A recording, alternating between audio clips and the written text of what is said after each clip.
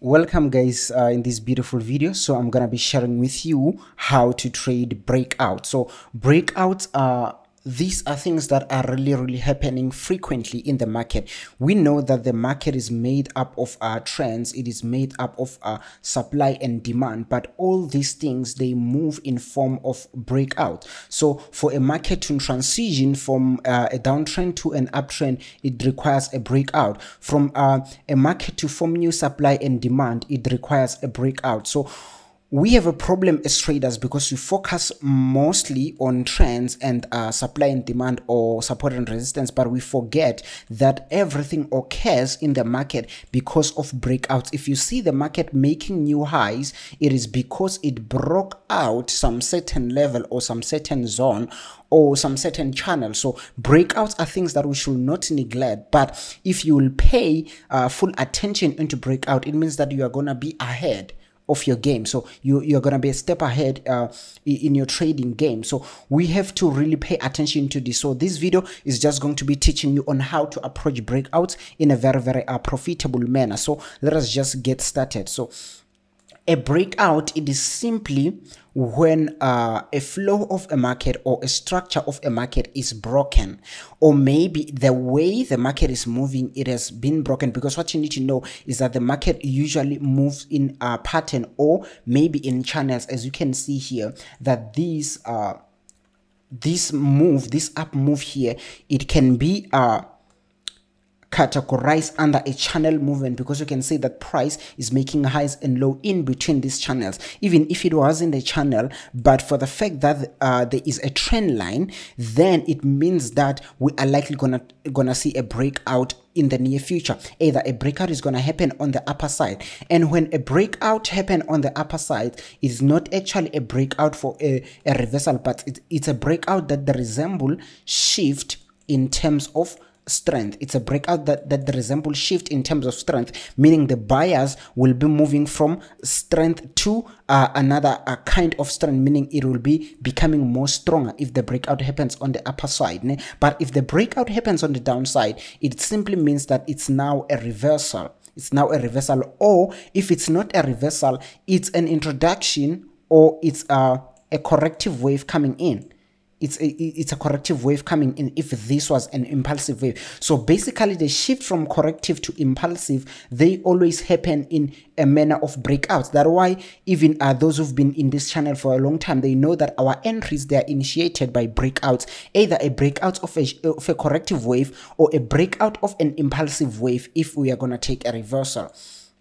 So what you need to know a lot of traders they think that or uh, breakouts there is a price. Ne? They think that breakouts there is a price, but to, to, to really tell you the truth, breakouts, they are not a surprise. They usually occur smoothly and you can see when they are about to occur. For an example, if a breakout is, is going to okay you will see that for example here we had a high and then we had another high which was lower than the previous one and again another one which was lower even uh, uh, uh, uh more than uh, the previous one. So seeing this without even noticing the market breaking out here you already observe something. Why? Because it tells you that now the buyers they are no longer able to make new highs. They are no longer able to make new records meaning it is likely that the seller are going to kick in. So when a breakout happens, surely you should be expecting it. Why? Because of the strength that has been portrayed inside the channel. So the strength inside the channel, it is the one that is going to direct you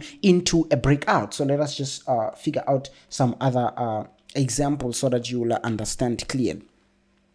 So before you can uh, observe the breakout itself make sure that you spend some uh, time observing the waves inside the channel or observing the waves inside the range if it was a range so don't just focus on the breakout without actually observing what happened before uh, the breakout could occur what uh, what uh, forced or what caused the breakout to actually take place. So you should make sure that you focus on that first.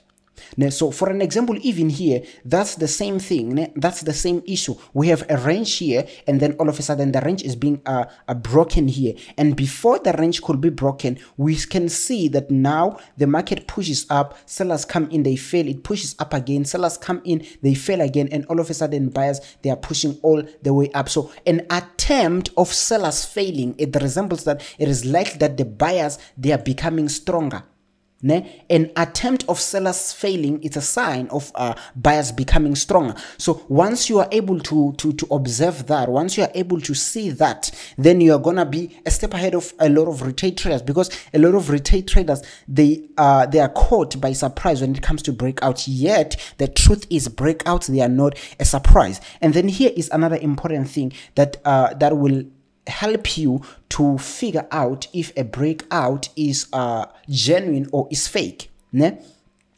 For you to see if a breakout is genuine or is fake, there are there are two things that you need to note. Ne? Firstly, it is the momentum of uh, the candle that is breaking out. Ne? The momentum of the candle that is breaking out. And then the second thing that is to assist you, it is uh, retest ne? it is retest. So these are the two basic approaches that are gonna save you to see either a range is true or false. I mean a breakout. Either a breakout is true or false. For an example if the candle or if the candles that are initiating the breakouts they are of a high momentum. When i'm talking about high momentum candles i'm talking about uh, a little bit of big candles for an example this is a high momentum candle same thing here it's a high momentum candle even this one. So if the candles they're becoming big in the breakout area it means that that breakout might be genuine. Why? Because we can see the power of the guys who are initiating the breakout in this case which are the buyers. We can see that their power is uh, uh at its, at its at its maximum ne? so that's the first thing to look at when you want to enter. So if you see that the power in the breakout area is high or the momentum is high then it means that it is good for you to buy that breakout there and there. But if it happens that the power in this zone it is initiated by small candles something like this uh very very small candles it means that we have to wait for something like a retest. So a retest it is the safest way to enter a breakout. What you need to know as a trader is that when market breakouts it means that they are actually beginning a new move or they are actually beginning some kind of a, a new direction. So if you are beginning a new move a new direction there is no need for you to be impatient there is no need for you to act quickly like you are fearing that you are gonna miss out. So you don't have to fear missing out when it comes to breakout. Why? Because breakout that resemble new direction, new moves, which are bound to take a lot, a lot of time or to take a while. So there is no need for you to be in a rush. So the best way, retest, they are always the best way, but what I was trying to tell you here is that usually when breakouts happen, they are not a surprise. And I was just showing you the good uh, approaches on seeing and understanding breakouts. So I hope this, this video was helpful. So thank you for watching. Remember to like, uh, share and subscribe. Thank you.